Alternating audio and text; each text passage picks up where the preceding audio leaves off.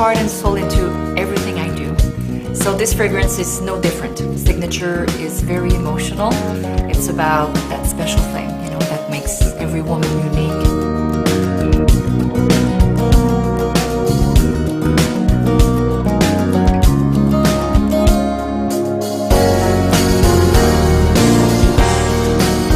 I love the ingredients that are used in this scent.